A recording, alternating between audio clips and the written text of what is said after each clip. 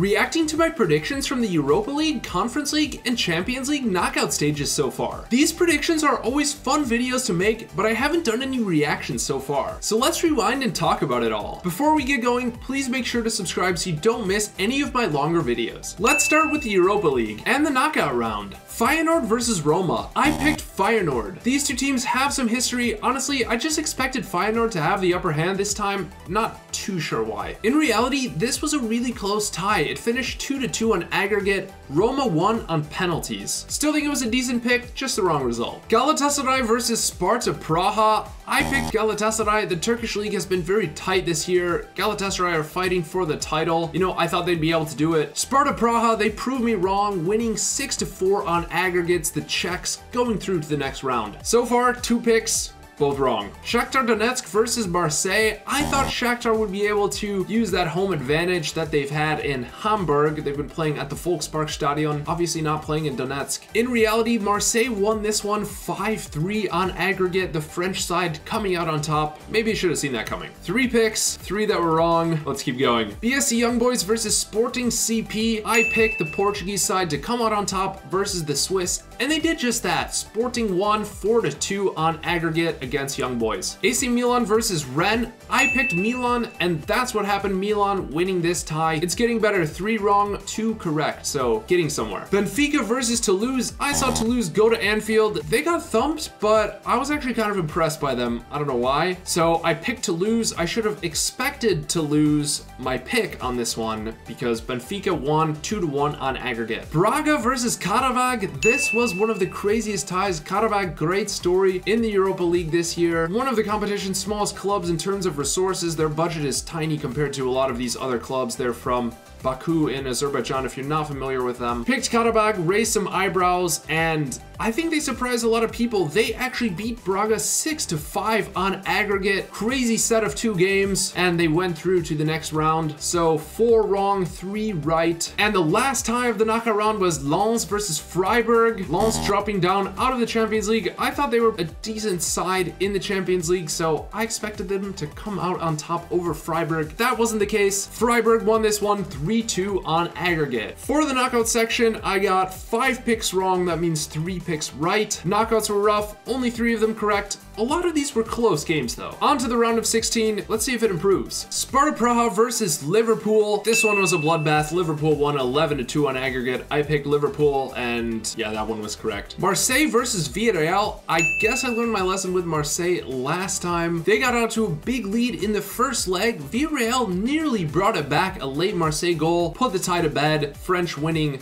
5 to 3 on aggregate. Got that one right, so two picks correct so far this time. AS Roma versus Brighton and Hove Albion. I picked Brighton. I don't know what I was thinking. Roma thumped them. Won the first leg 4-0. Second leg finished 1-0 to Brighton, but it was all settled after the first leg. Roma winning 4-1 on aggregate. Benfica versus Rangers. I guess I learned my lesson with Benfica in the last round. They went through and kind of impressed me, so I picked them this time against Rangers. This tie was very close. Benfica came came out on top 3 to 2 on aggregate. Round of 16 shaping up decent so far, only one wrong and three correct. Freiburg versus West Ham. I picked against Freiburg again. I picked West Ham after the run in the Conference League last year, winning it all. I feel like West Ham, they kind of just are focusing on Europe. That's the chance they have to go for glory. Hey, you may as well. It's a good strategy, I would say. And West Ham thumped Freiburg 5-1 on aggregate. That means four correct, one incorrect. Sporting CP versus Atalanta. Somebody asked me, what merit are you picking Atalanta on? I tried to explain some of my reasoning in this predictions reaction. I'll let you be the judge. I just picked Atalanta. It was very close,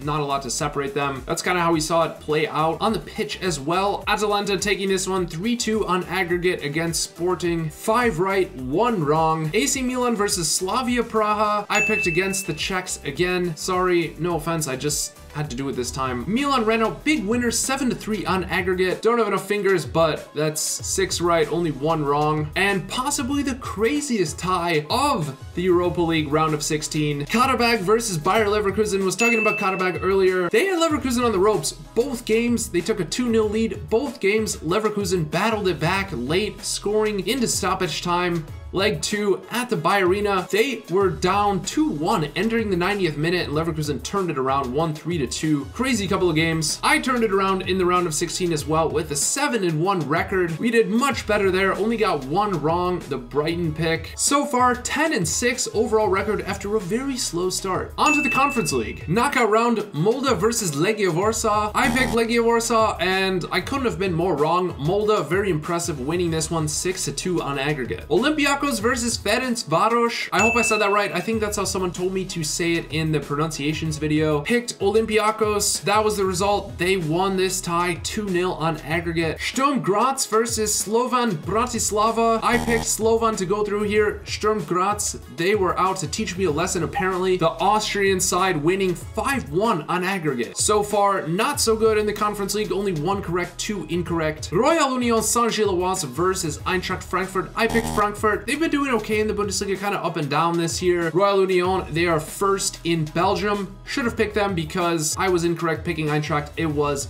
Royal Union Saint-Gilloise with a victory 4-3 on aggregate. So only one right and three wrong so far in this section. Ajax versus Bodo Glimt. Everyone was laughing at me because I was wearing an Ajax shirt but picked Bodo Glimt. Ajax only won this one 4-3 on aggregate. They have been struggling this season. Could have won to penalties if not for a very late Ajax goal. I think we all came away impressed with Bodo Glimt though. All right, that's only one right and four wrong for me so far. Maccabi Haifa versus Ghent. I picked Ghent. In reality, it was Maccabi Haifa with with a 2-1 victory on aggregate. And yes, the wrong logo was used in the edit for Ghent. Sorry, I didn't catch that one. My apologies. One right, five wrong. Real Betis versus Dinamo Zagreb. I picked Betis. In reality, it was Dinamo Zagreb that advanced with a 2-1 aggregate victory. Zagreb won at the Estadio Benito Villamarin in Sevilla, and then a draw at home was enough to progress. Another one wrong for me, one and six in this section. Servette versus Ludogorets. I don't think it gets any better for me. I picked Ludogorets. Apparently Servette Servette's games don't have any goals. This one was 1-0 on aggregate with Servette going through pretty close set of two games. Only one goal to separate the sides. And only one pick correct for me in the knockout round section, one and seven. Only one correct. Somehow it's a little hard to believe. I know I was taking some chances with risky picks, but yikes. That takes the overall record below 500 to 11 and 13. On to the round of 16. Servette versus Viktoria Pilsen. Like I said, Servette's games don't have goals.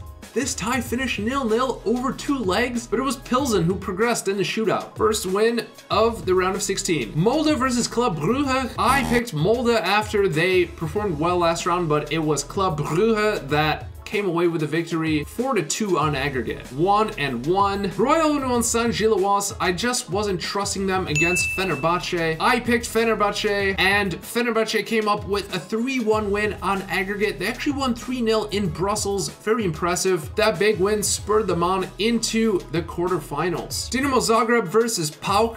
I picked PAOK. Zagreb fans were not happy. PAOK won this one 5-3. After the first leg, Zagreb took a 2-0 lead back to Greece, but PAOK won the home leg 5-1. Sturm Graz versus Lille. I guess Sturm Graz impressed me in the knockout round, so I picked them to beat Lille. It was the wrong pick. Lille won 4-1 on aggregate. Should have picked Sturm Graz the round before. Lille progressed, meaning I have three correct, two incorrect. Maccabi Haifa versus Fiorentina. I picked Fiorentina. Fiorentina won 5-4 on aggregate. This was one of the best ties of the round. 4-3 in the first leg. It was a wild one with the Italians coming out on top. And that means I am 4 and 2 so far in this section. Olympiacos versus Maccabi Tel Aviv. I went with Olympiacos again. This was another crazy tie. Olympiacos won 7 to 5 on aggregate. Goals galore in this one. Tel Aviv took a 4-1 lead after the first leg, which was actually at Olympiacos. But the second leg with the Greeks playing away from home, they won 6 to 1. Completely flipped the script. This one went to extra time where they finished it off and advanced to the quarterfinals. Five wins, two losses for me so far in this section. Ajax versus Aston Villa. How was I not going to pick Aston Villa? Obviously, it was going to be Aston Villa. Aston Villa winning this one 4-0. Massive victory for Villa. A subdued first leg in Amsterdam sent it back to Villa Park scoreless, and that's exactly what Unai Emery wanted. Villa made the most of it to advance to the quarterfinals. All right, my Conference League round of 16 record is now 6 and 2. Not bad. Had to balance it out a bit there. Overall record 17 and 15. On to the Champions League. The Champions League doesn't have a separate knockout round. It just goes into the round of 16 this year. They're changing the format next year, so it's gonna be a little bit of different video next year. Let's see if my picks can be separated here. Copenhagen versus Man City. I picked Man City, and it was Man City who won this tie 6 to 2 fairly comprehensive in Copenhagen over the Danes. Think City were always to go through there. RB Leipzig versus Real Madrid. I picked Real Madrid. It seemed like the easy pick. I think pretty much everyone was picking Madrid, but in reality, it was only 2 to 1 on aggregate. Like I said, many of us saw Real Madrid as a lock, but Leipzig pushed the record champions all the way, could have won, could have at least sent it to extra time. Nothing to be ashamed of, but Madrid went through. PSG versus Real Sociedad. I picked La Real. In reality, PSG were too much for Real Sociedad, winning 4 to 1 on aggregate. La Real impressed me in the group stage, but Sociedad have cooled off in the new year. And PSG were just a class above in the tie. Kylian Mbappe putting putting things out of reach. So two right, one wrong on the Champions League so far. Lazio versus FC Bayern. I picked Bayern. Bayern won 3 to 1 on aggregate. Lazio made it interesting with a 1-0 victory in the first leg at home, but Bayern are throwing everything they have at the Champions League and were able to turn the tie around in the second leg with a 3-0 win in Munich. Inter versus Atletico de Madrid. I picked Inter, but actually it was Atleti who progressed after a 2-2 after extra time result. It went to penalties Atleti showed they had the mettle. Inter conceded. It was Memphis Depay scoring in the 87th minute of the second leg to force extra time. And it all culminated in a dramatic shootout where Atleti made the most of the home crowd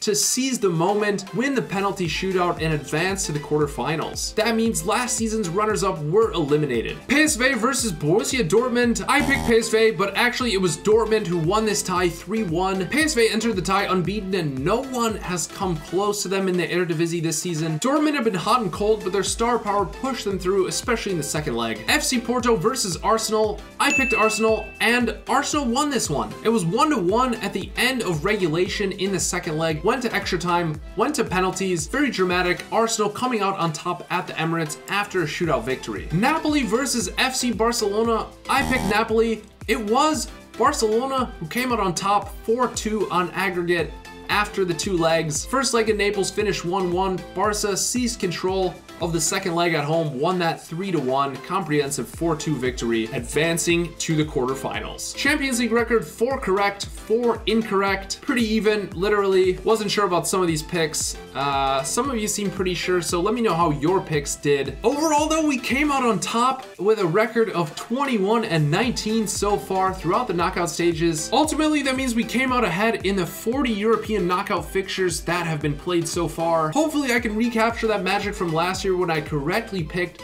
the entire Europa League bracket from the quarterfinals to the winner. Can't wait to pick the next round. I always try to have fun with these predictions and pick some upsets not just picking the easy favorites. Thanks for watching and supporting the content. How have your picks been doing? Let me know in the comments. Thank you, Footy Fam. A special thanks to the VIPs and Ultras who are paid subscribers on the Footy Fam Patreon. This video wouldn't be possible without your support. If you want to see your name in the credits and get other awesome perks like BTS content and more, make sure to subscribe via the link in the description.